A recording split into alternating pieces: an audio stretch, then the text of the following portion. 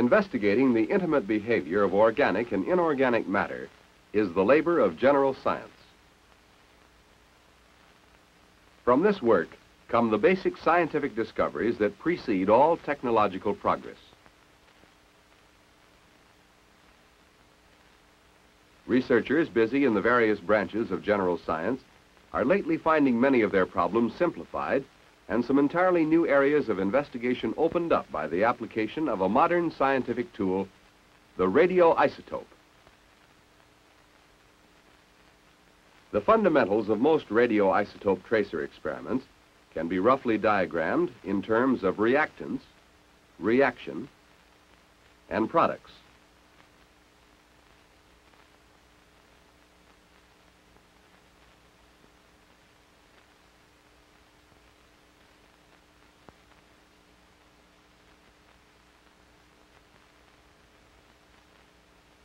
The radioisotope is used to label one or more of the ingredients.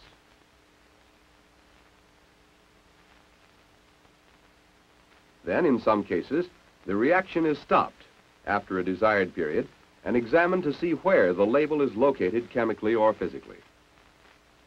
More often, however, the products are tested for the presence or absence of the radioactive tracer.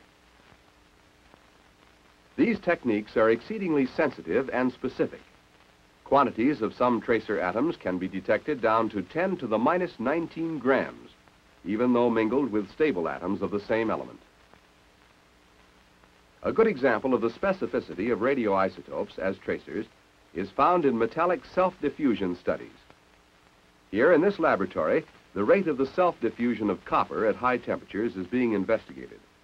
Since the only atoms involved are copper atoms, radioactive copper-64 is used as the tracer. Very little lead shielding is required for the safe handling of a typical 100 millicurie unit of copper-64.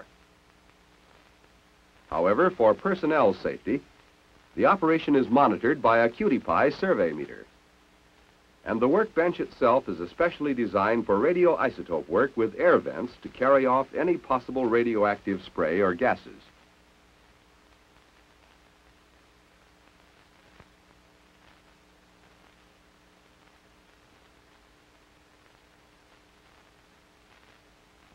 In the experiment, a small amount of radioactive copper solution is added to an electrolytic cell which already contains a copper solution.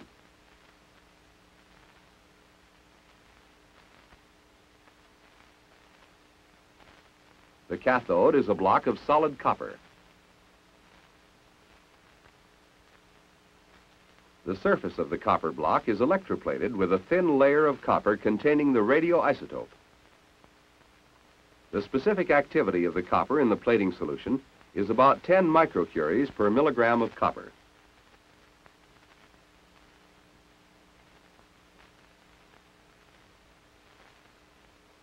When approximately one microgram of copper has been plated onto the surface of the block to give an activity of 100 or so disintegrations per second per square centimeter, the block is taken from the cell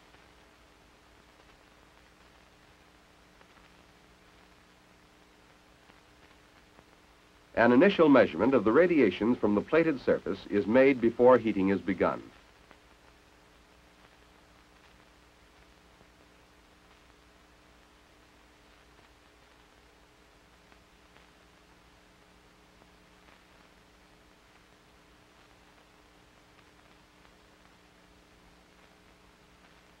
The block is counted with a thin-walled Geiger tube having a density thickness of 3 milligrams per square centimeter.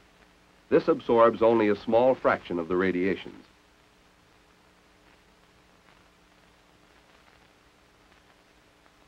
Copper-64 emits beta particles and positrons of almost equal energy, about 0.6 MeV maximum, and emits a gamma ray in about 3% of the disintegrations. The gamma rays do not affect the count appreciably because of the rarity of their emission and the relative insensitivity of the GM tube.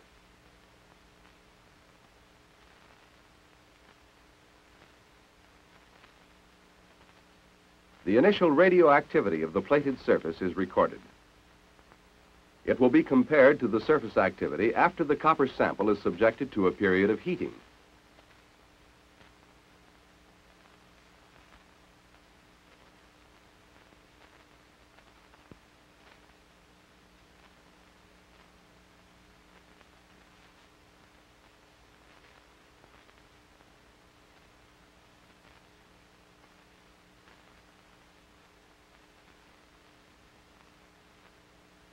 After the block is removed from the counter, it is placed in an insulated electric furnace.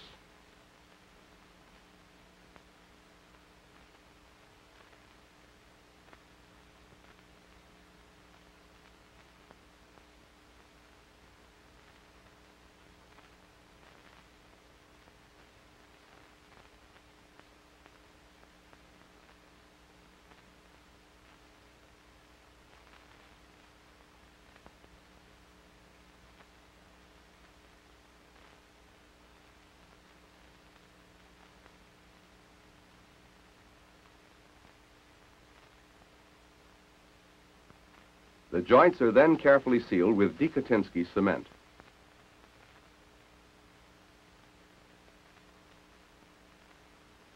The copper block will be kept in an argon atmosphere at a constant high temperature.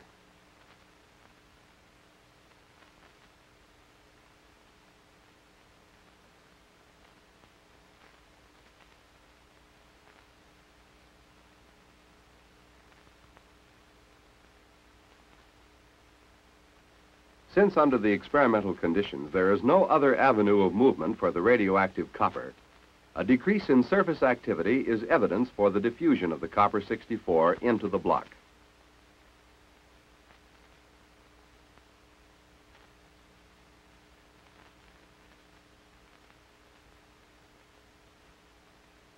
After a heating period of several days, the cooled block is removed from the furnace.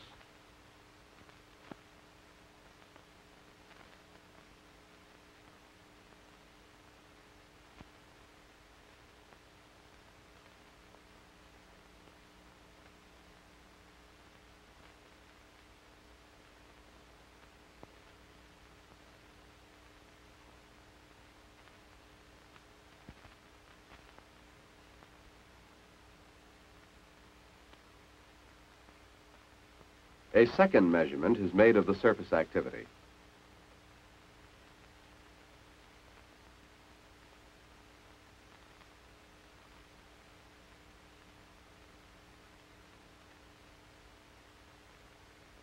Since the activity decreases with physical decay, the 12.8-hour half-life of copper-64 must be taken into account, and the readings corrected accordingly.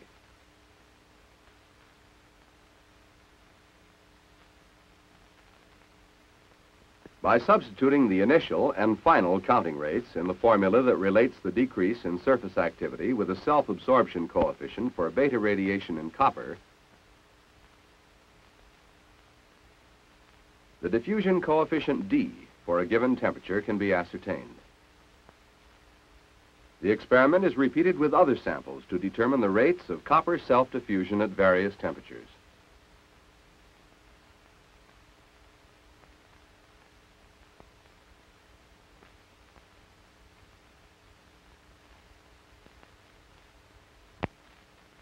The self-diffusion coefficients of other solid metals, impossible to determine by known chemical methods, may be obtained relatively simply by using radioisotope techniques.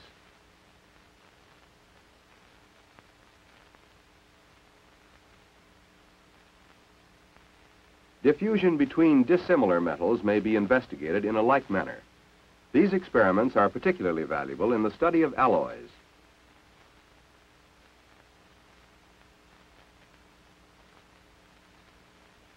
For instance, much data can be brought to light through radioisotope work on the diffusion rates of copper into various copper alloys.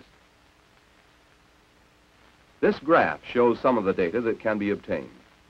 Point X represents the diffusion rate of copper into copper. The other values show the diffusion rates of copper into various copper alloys. Thus, the radioisotope opens up a field of inquiry not readily approachable by any other means.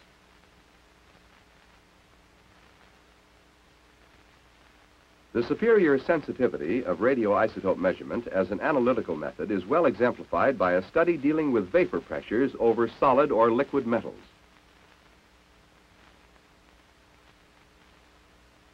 With metals of low vapor pressure, in particular those with a high melting point, long periods of time are required to collect enough vapor to allow accurate chemical analysis. But the use of radioisotope techniques instead of chemical analysis can result in a great saving of time and labor.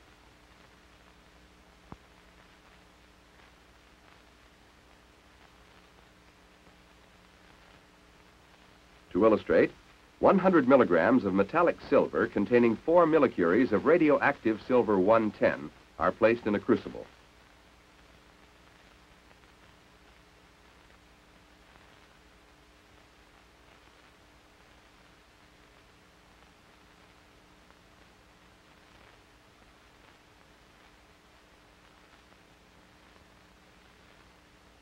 And the crucible then placed in an apparatus especially designed to measure the vapor pressure of high melting point substances.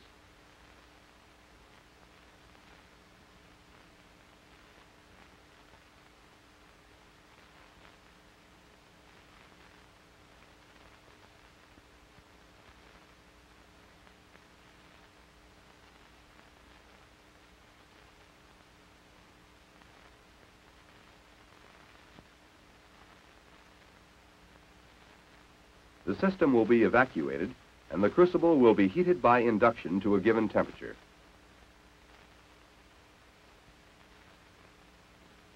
The vapor from the heated silver is allowed to stream through a pinpoint orifice in the crucible lid and condense on a cold tantalum target disc for a given time.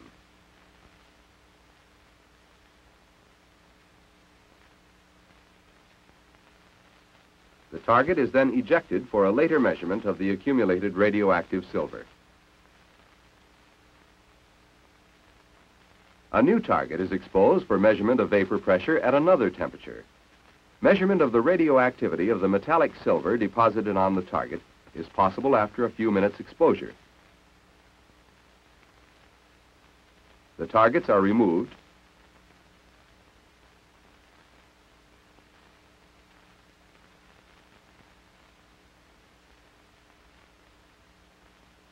and counted with a conventional Geiger-Muller tube and scaler.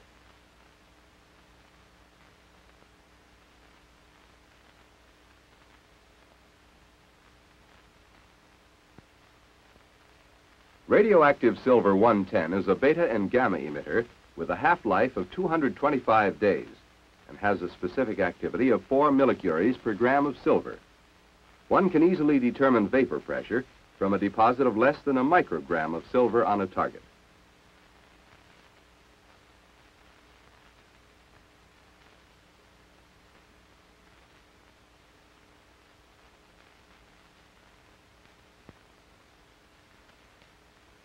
Knowing such constants as the hole and target geometry, time of evaporation, and the amount of metal deposited on the target, one can calculate the vapor pressure of silver at a given temperature. This method provides one of the best means of calculating thermodynamic activities. It is now widely used to obtain more exact data on solids of extremely low vapor pressure. In the field of chemistry, radioisotopes are proving valuable in the study of exchange phenomena, in which there is an interchange of atoms or groups of atoms of identical chemical nature, even though they exist in different chemical or physical states. A typical study involves the heterogeneous exchange between chloride ions in solution and chloride ions in the solid silver chloride lattice. One thousandth of a mole of chloride ions containing radioactive chlorine-36 is added to a solution containing freshly precipitated solid silver chloride by means of a microvolumetric pipette. With chlorine-36 having a half-life of approximately a million years, no correction for decay in the radioisotope during the experiment need be applied.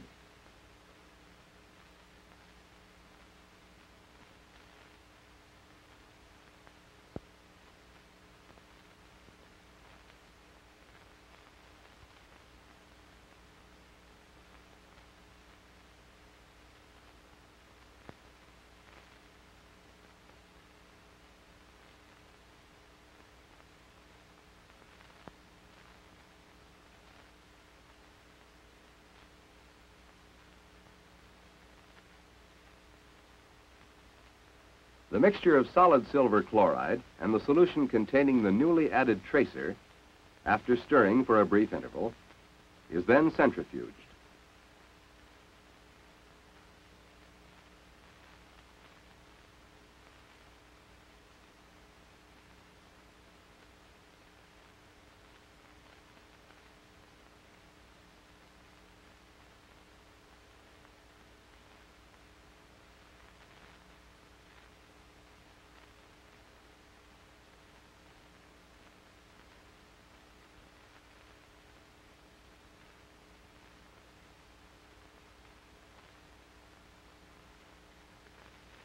A known aliquot of the supernatant is then drawn off for analysis.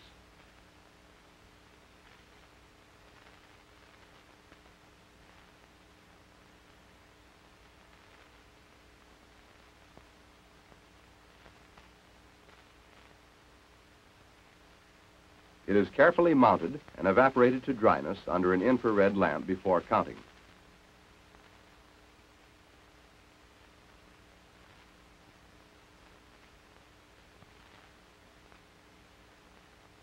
Chlorine 36 is a beta emitter exhibiting no gamma activity. It is measured with an end-window type of Geiger tube and a conventional scaler.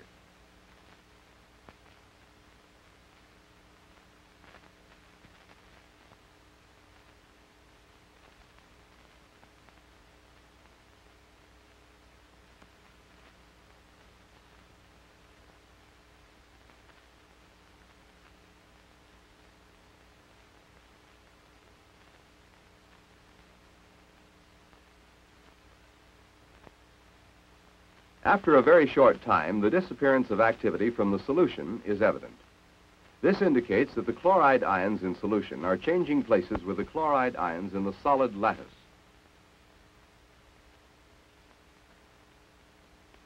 In the basic diagram, this method corresponds to the technique of labeling one of the reactants and then searching for the label in the products. In this case, the radioactivity in the initial solution is found to decrease showing that some of the activity has entered the solid by exchange. As the experiment is continued, the rate of the exchange is found to decline.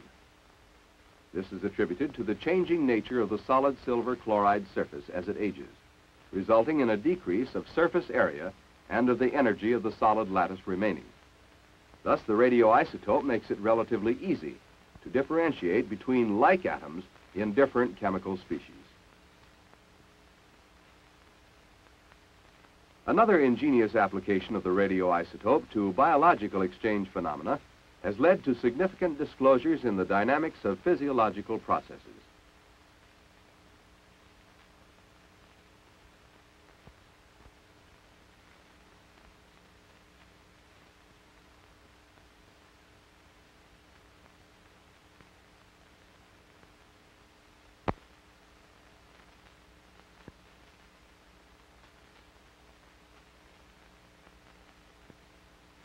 These experiments employed squid, which have a giant main nerve cell called the axon nerve.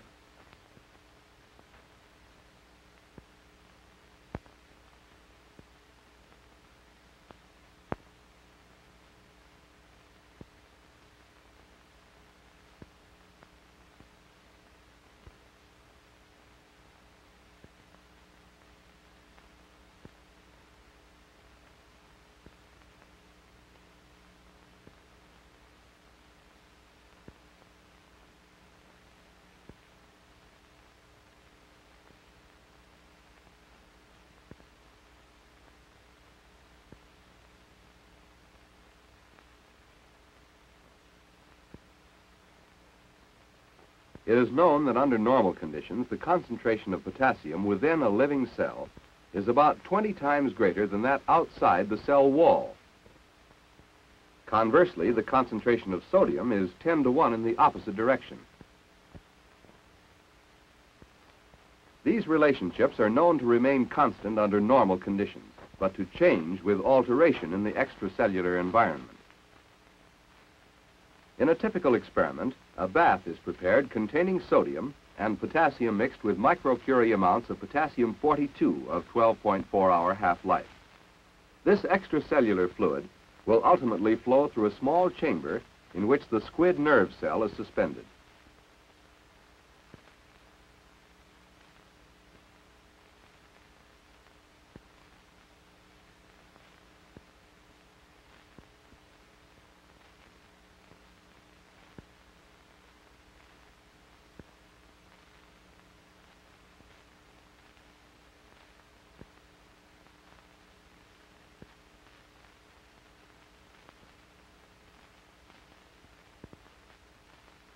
The radioactive solution is introduced into the shielded lead tank, which protects the workers from radiation.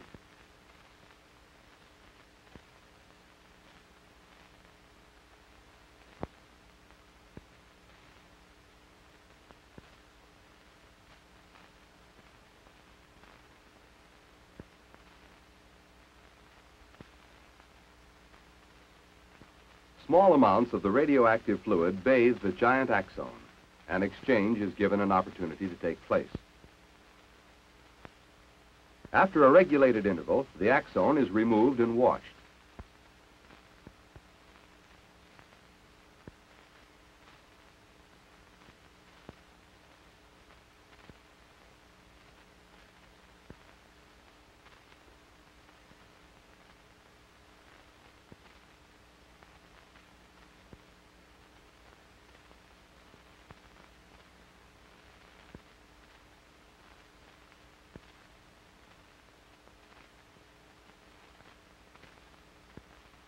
Its interior fluids are very carefully wrung out and weighed precisely on a semi-micro balance prior to counting.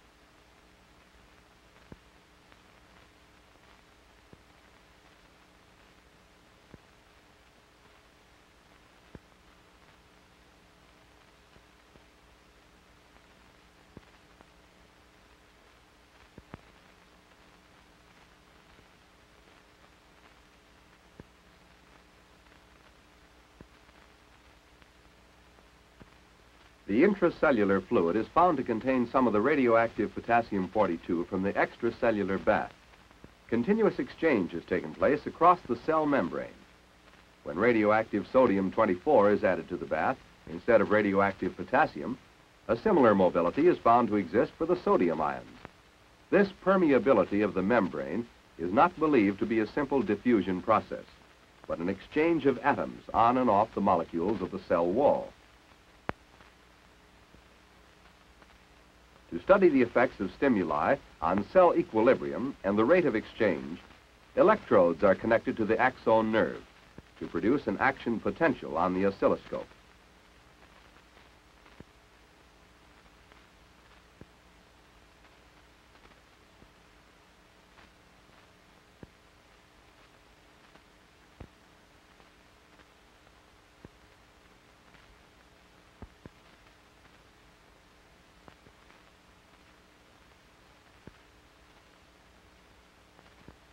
During electrical stimulus, exchange of sodium and potassium ions is found by this tracer technique to increase in rapidity due to increased permeability of the membrane. Sodium enters at a high rate during the ascending phase of the action potential, while potassium breaks through during the descending phase. This opening of the barrier is the source of the cell's electromotive force. Detection of the radiation of the sodium and potassium radioisotopes is no problem in view of the energetic beta and gamma rays emitted. And so, by the use of radioisotopes, for the first time, it has become possible to explore the very dynamic processes taking place in the cell walls and other membrane structures of living systems. For many years, chemists suspected, without convincing proof, that under some conditions, atoms will rearrange within the same molecule. With the advent of the radioisotope, an ideal weapon has been provided with which to attack this type of problem. The Wolff rearrangement of a diazo ketone is a striking illustration of this phenomenon. In Wolff's reaction, an acyl halide and diazomethane yielded a diazo ketone. Hydrolysis of the ketone in the presence of a silver oxide catalyst produces an organic acid containing the same number of carbon atoms.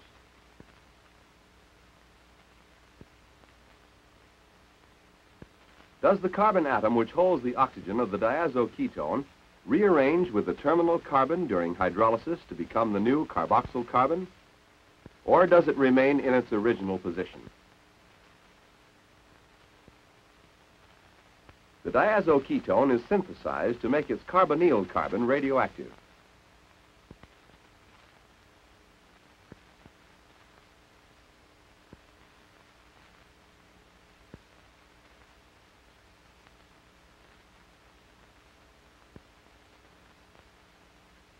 The vacuum system used in C14 syntheses prevents contamination of the laboratory and protects workers against inhalation and ingestion of radioactive materials. The carbonyl carbon of the diazoketone is tagged in this manner.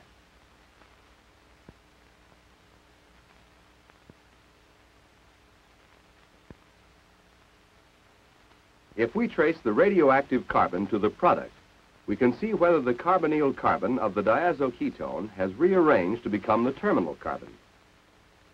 The terminal carbon of the acid is chemically taken off to see if it contains the label. This decarboxylation of the acid illustrates how organic compounds may be broken down stepwise.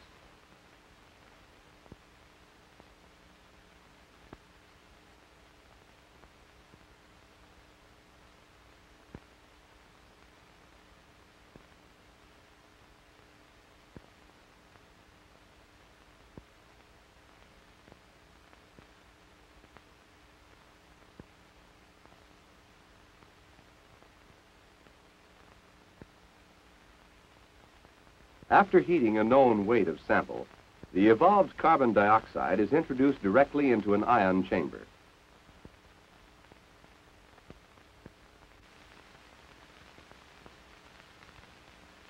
This ion chamber is then connected to a vibrating reed electrometer.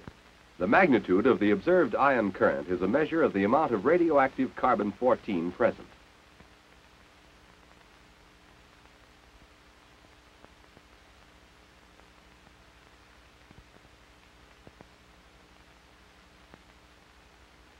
A standard is used to check the performance of this electrometer, which employs AC amplification. The introduction of radioactive carbon dioxide into an ion chamber is a widely used technique, since a greater sensitivity of detection is possible than through the counting of solid samples. The carbon dioxide derived from the terminal carbon is found to contain all of the radioactive carbon-14 label. This indicates that what was originally the carbonyl carbon atom of the diazo ketone is now the terminal carbon of the acid.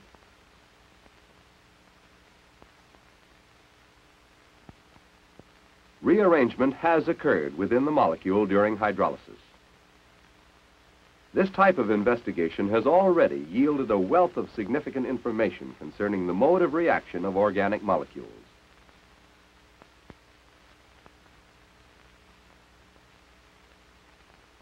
The unusual sensitivity of the radioisotope tracer technique is well demonstrated in a difficult biochemical investigation concerned with the metabolism of complex chemical compounds in living organisms.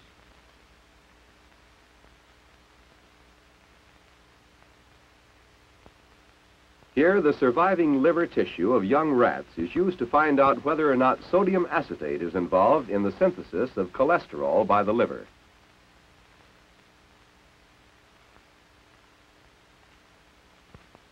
The rate of synthesis in the organ is often very slow. Consequently, the increment resulting is so small that it cannot be measured by ordinary analytical means. For this experiment, carbon-14 labeled sodium acetate, the suspected metabolite, is added to 3 grams of surviving liver tissue of young rats, cut into thin slices and suspended in a phosphate buffer.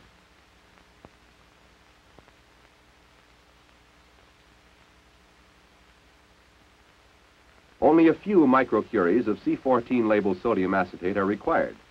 With such low activities, only limited safety precautions are necessary.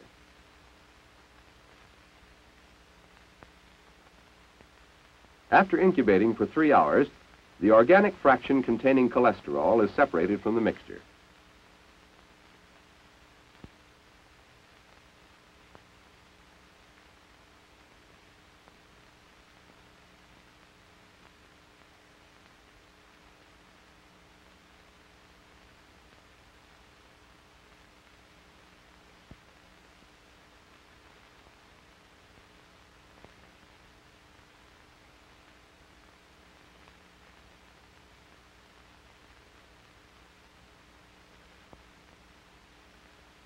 Following this separation, an isotope dilution technique is used since only a trace amount of cholesterol is present in this fraction.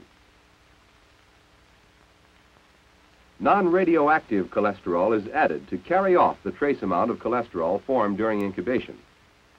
This isotope dilution technique is used widely and yields quantitative data, and yet employs only qualitative techniques for the isolation of the tagged compound.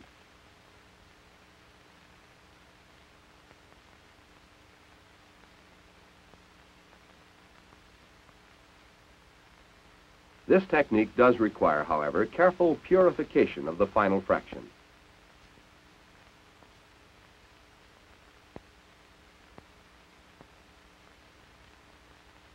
After isolation and purification, the cholesterol sample is prepared for counting and its specific activity is determined. The radioactivity detected in the cholesterol isolated from the tissue slices suggests that acetic acid plays a key role in the synthesis of cholesterol.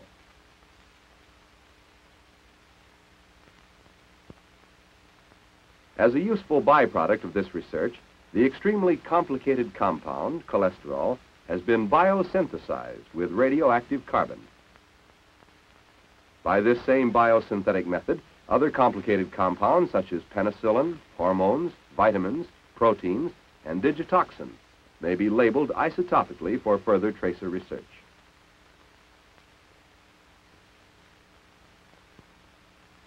In addition to use in in vitro studies, radioisotopes have proved invaluable for investigations conducted in vivo.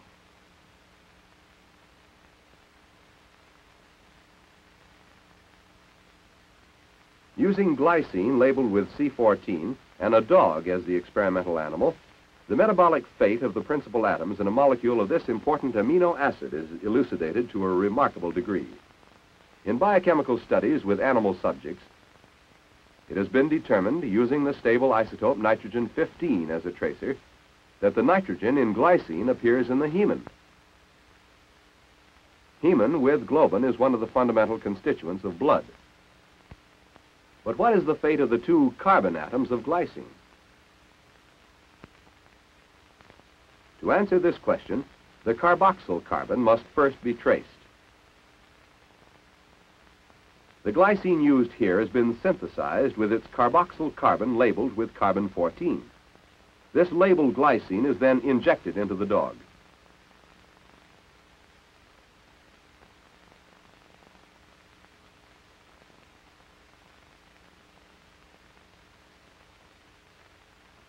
Later, a blood sample is taken from the animal, and the red blood corpuscles separated from the plasma.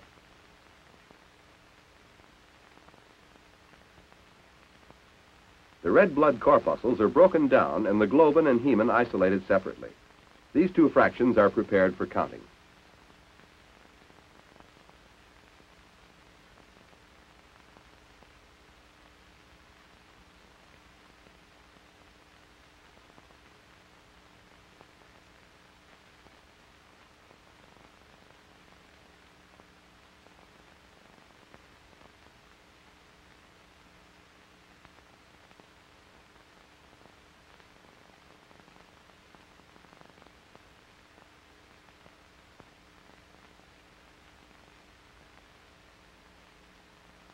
These fractions are repeatedly purified until their specific activity becomes constant.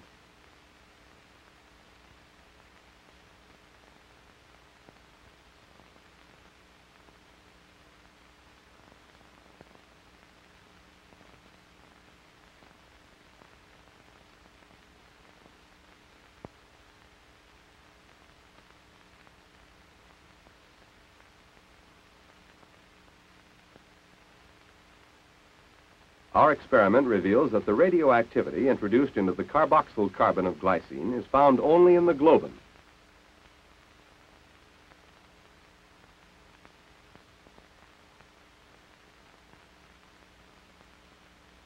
When the number 2 carbon of glycine is labeled with carbon 14, the activity is found predominantly in the hemin.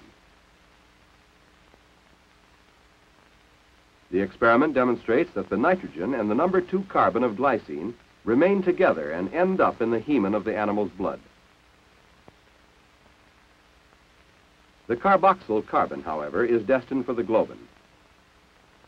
In addition, this demonstrates that during the metabolism of glycine, a bond rupture occurs at the 1-2 position of the molecule. Thus, radioisotopes permit study in vivo of the metabolism of individual atoms of biologically important compounds.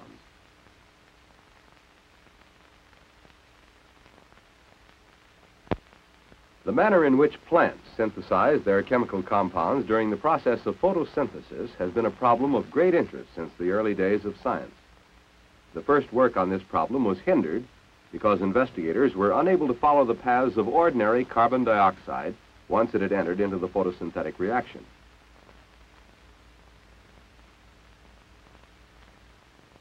The work of the early investigators is now being continued with the most modern of research tools, the radioisotope. This versatile tool enables present-day investigators to follow a tagged molecule through the many paths which exist in photosynthesis.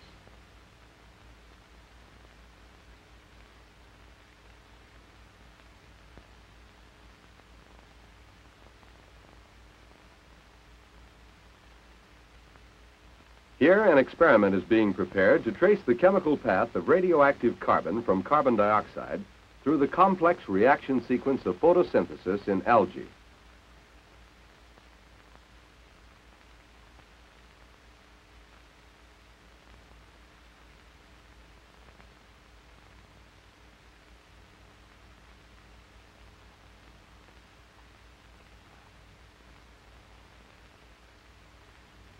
Solution containing radioactive carbon dioxide as soluble carbonate is made available to the growing plants.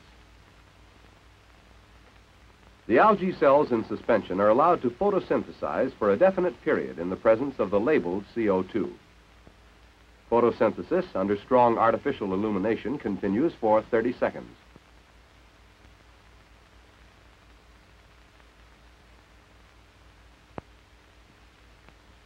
The algae are removed from the photosynthesis cell, called a lollipop, and are then killed by the addition of boiling ethanol to stop all metabolic reactions.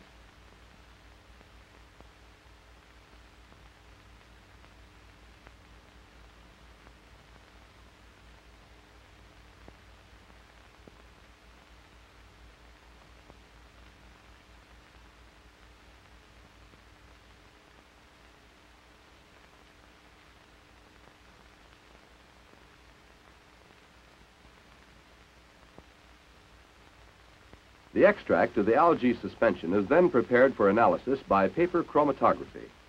This technique of paper chromatography supplies a means for separating the compounds in the algae in order to find out which ones have been synthesized from the radioactive carbon dioxide.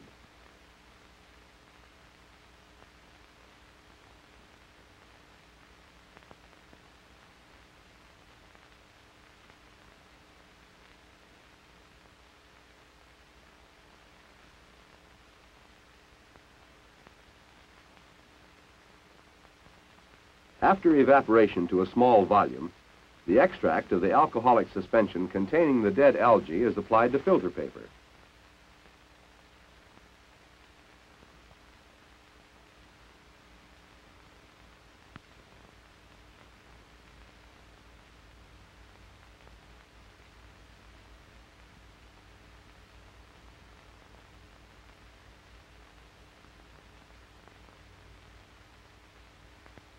The total radioactivity applied to the paper is measured with a Geiger counter.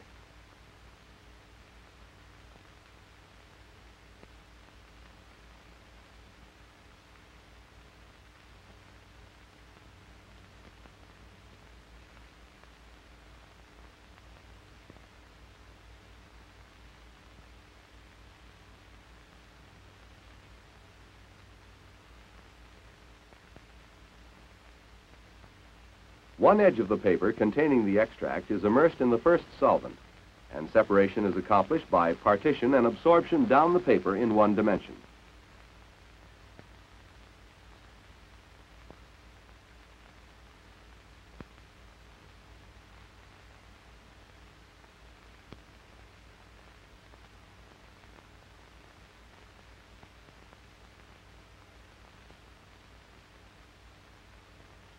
Time must be allowed for the slow movement of the compounds down the paper. This movement varies for different compounds and results in their partial separation.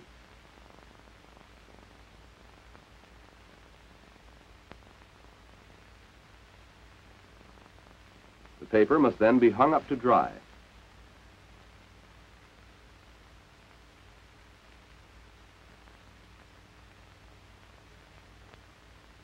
After drying at room temperature, the paper is removed and prepared for the second step in chromatography. The adjacent edge of the filter paper is immersed in butanol.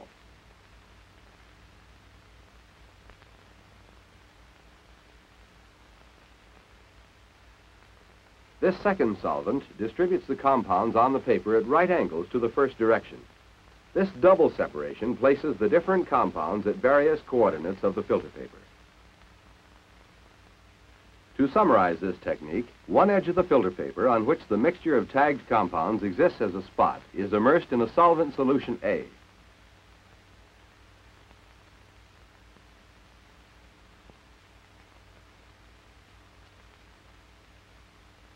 The slow movement of this solvent up the paper is accompanied by the movement of the tagged compounds in the same direction. Each compound moves with a characteristic velocity in this particular solvent. After being dried, the other edge of the filter paper is immersed in a second solvent solution B, in which the tagged compounds have different relative rates of movement. These different rates of movement, at right angles to each other, result in the localization of each compound at a characteristic spot when the same two solvents are employed.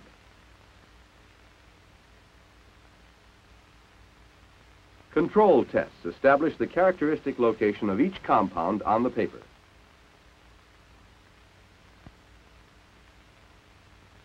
X-ray film is then exposed by contact with the filter paper.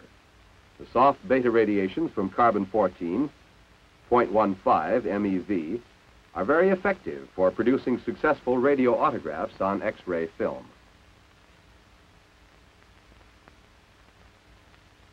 This graph shows the effect of different beta energies for identical exposure times.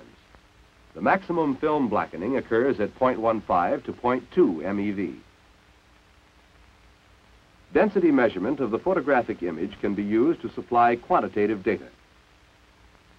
With such test runs for various periods of photosynthesis, it is possible to obtain a step-by-step -step itinerary of the radioactive carbon. Since the process is a very rapid one, it is important that data be obtained at closely spaced intervals. Otherwise, some brief stage of chemical development might be missed entirely. The resulting radioautograph film indicates the location of the separated compounds on the paper chromatogram.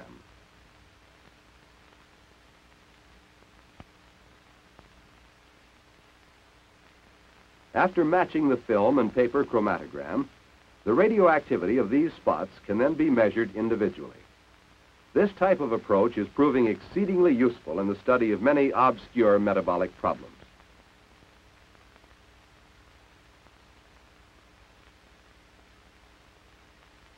In all areas of general science, the radioisotope is opening up new highways of research, cutting corners on other difficult paths of investigation, and widening the horizon of man's knowledge, helping scientific development toward new frontiers.